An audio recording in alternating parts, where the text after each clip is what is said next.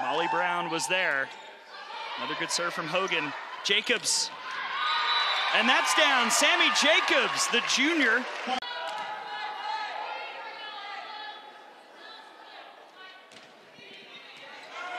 Another strong serve by Alabama. Wells, set point, Crimson Tide. Missed just a little wide.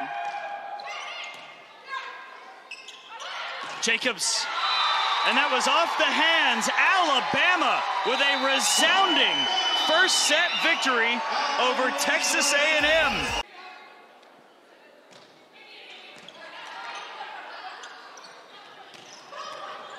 Oh, Schmier, whoa! Great, I think you can stat that as a dig and a kill all in one.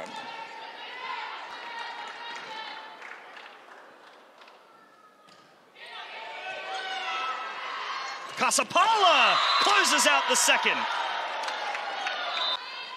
Ifenna Cos-Okpalla will serve. Sophomore from Flower Mound, Texas. And she laid out there.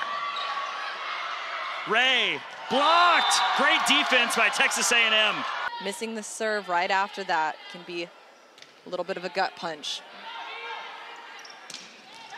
And then there's Morgan Perkins. Really makes a huge difference in where it ends up landing. Good serve from Buzla Tepe.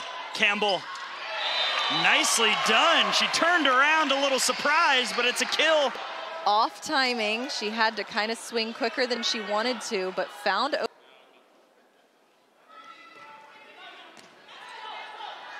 It's Perkins.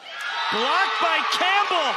Something special's going on. Alabama team over. We talked about A&M's notable wins. This would definitely be a notable loss. Moneke just sends it.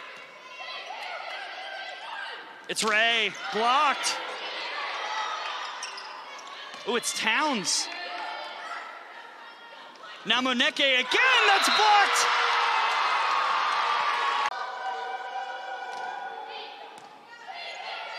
Where's the answer for Alabama? Is it Towns?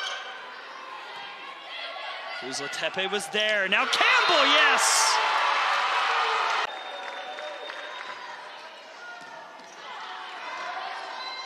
Moneke. She missed!